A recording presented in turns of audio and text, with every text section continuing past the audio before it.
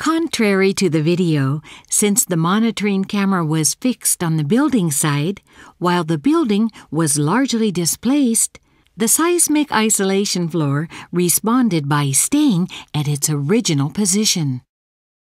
Those floor edge panels were specified to dislocate if these deformations occur. They were not broken at all.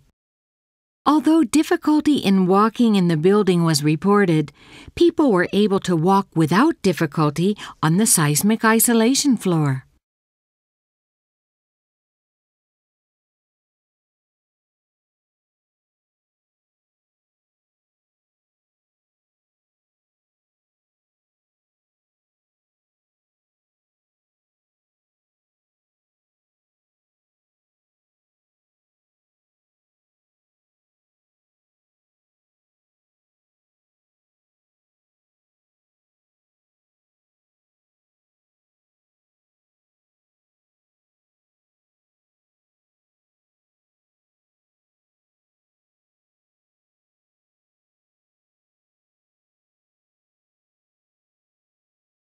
The computer servers were not damaged and kept functioning due to the effect of the seismic isolation floor.